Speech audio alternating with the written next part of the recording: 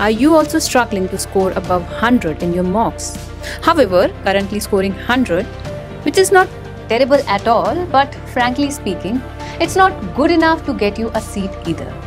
So this video is not for all those students who are working with a focus to get 99 percentile. In fact, this one is for all those hardworking students, those who find themselves stuck at the score of 100 or maybe 85.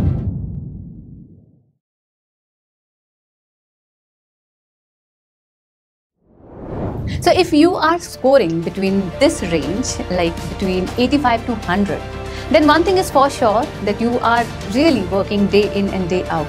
Yes, you are working very hard. But despite this hard work, why the score is not improving? Or what is going wrong? Or if we may say that where is that missing link? So stick around till the end as we discuss a step-by-step -step plan to hit 150 plus faster smarter and more sustainably with our four-step method. The steps include concept building, practicing with precision, strategizing mocks and getting momentum. Step 1. Concept building. See, we all know that mocks are very important. But you know what? We do not improve in mocks. In fact, we improve before mocks. Yes, so first of all, you need to work on the basics. However, what most students do, they straight away jump on to giving mock test, thinking that the scores would improve magically. Whereas hope is not a strategy. So what should be the strategy? To start with, so pick one topic per subject. Yes, just one. Don't overload yourself and work on the concept building of the same. Not just solving more questions randomly.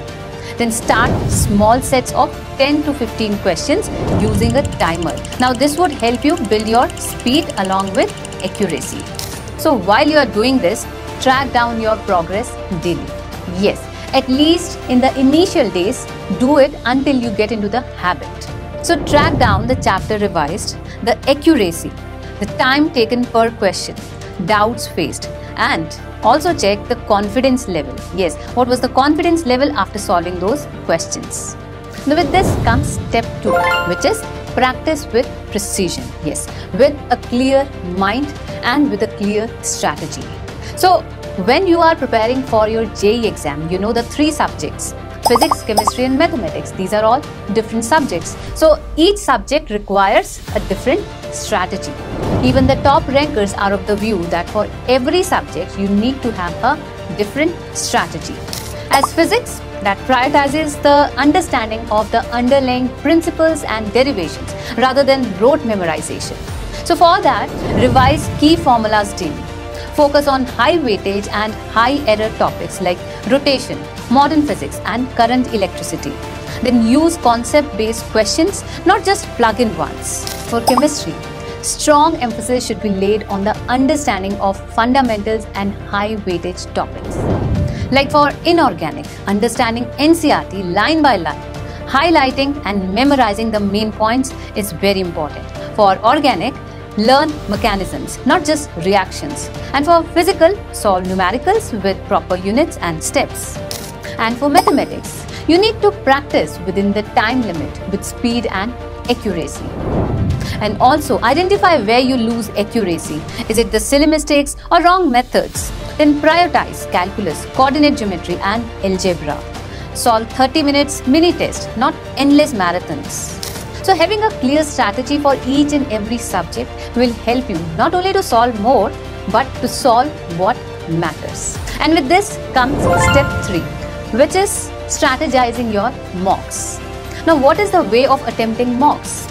Yes, make your own personalized exam strategy. Every year, elite achievers share that not one strategy works for everyone. Try different ways of giving mock tests. Experiment with different sequences. Like some students say attempting physics first works for them, while others attempt maths first. So you have to find out your strongest subject and attempt that first not only on the exam day but during your mock test as that is your training ground. And the sequence that worked for most of the times for you, use that in your exam. As mocks are meant for analyzing your errors and strategies, leaving a scope for redesigning. And further, you can repeat the success formula again and again. Now coming on to step 4 which is getting momentum. And how do we do that? By combining mindset with mentorship. Yes, for this purpose you need to involve your teachers as building a strong relationship with your teachers allow you to leverage their expertise, receive personalized support and benefit from their experience in navigating the complexities of JEE preparation.